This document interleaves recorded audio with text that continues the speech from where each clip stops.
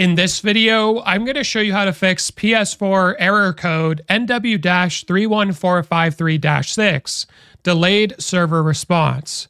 So the first thing PlayStation Support recommends you do is go to settings and we're going to go to network and they recommend that you test your connection and just ensure that it's not on your end what's causing the delayed server response.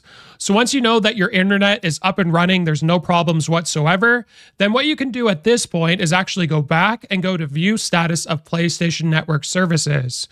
So you can open this up, have a look. You want to make sure that all of the available services are up in the green, and it easily shows us here once we get to the status page.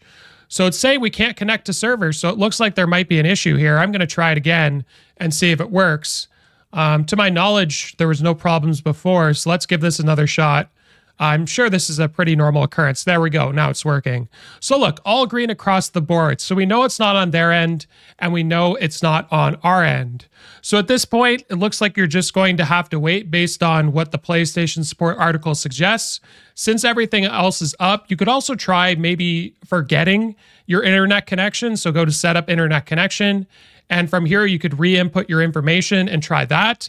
But beyond that, there was nothing else for this article.